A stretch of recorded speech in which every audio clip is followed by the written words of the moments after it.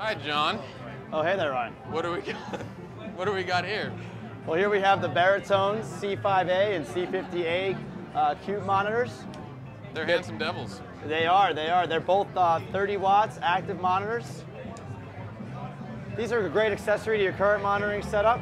They kind of give you a, an idea of your mid-range. It's kind of the design and your mid-range and what your mix is going to sound like on a TV or uh, maybe in mono or you know an alternate listening environment from uh, something more pristine like our ribbon monitors here. Gotcha, gotcha. So you'd A/B these with a set of traditional monitors in most. Yeah, yeah, exactly.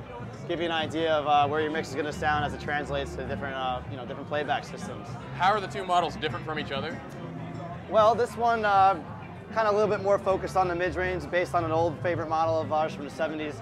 And then this one over here, they widen out the frequency response a little bit and uh, you know, it's just a little, a little bit more broad spectrum. Okay. So this is the classic version in a nice faux wood grain, like my Atari 2600. Exactly. It kind of looks like, you know, it's kind of about the style, whatever works for your studio, you know? I like it. Is there anything else we need to know about these?